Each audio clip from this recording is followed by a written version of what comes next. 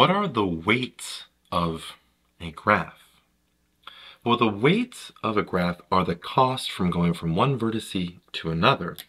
So we can give that a label here. Let's give it a number. Let's say that one's 4, this one's 7, this one is 13. Here we have a 5 on that one, this one a 2. We'll give that one a 1 and that an 8. And we can label our vertices if you want, A, B, C, D, and E. The weights are the cost from traveling from one vertice to another vertice. This can be a physical cost, like a dollar amount being represented. It can be a distance. It can be the time it takes to travel, or just basic units like we have here.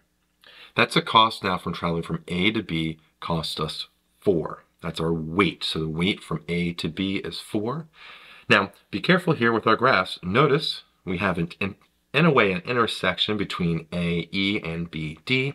There's no vertice there. That means there is no intersection there in graph theory, okay? Now, our weights also, be careful, just because a line is longer than another line doesn't mean the weights are more. Notice A to E has a weight of 5, which is less than D to E. So we can find the overall weight to go from A to E by going, let's say A, C, D, let's go to B, and then E. So a path from A to E would have an overall cost We, We have A to C is 1 plus 8 plus D to B is 2 plus B to E is 7. And that's 10. 8 and 2 is 10. We have 11 here plus 7 is 18.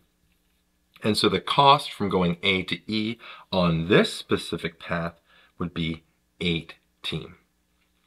So I hope you learned something here on the weights of a graph in graph theory, and thanks for watching.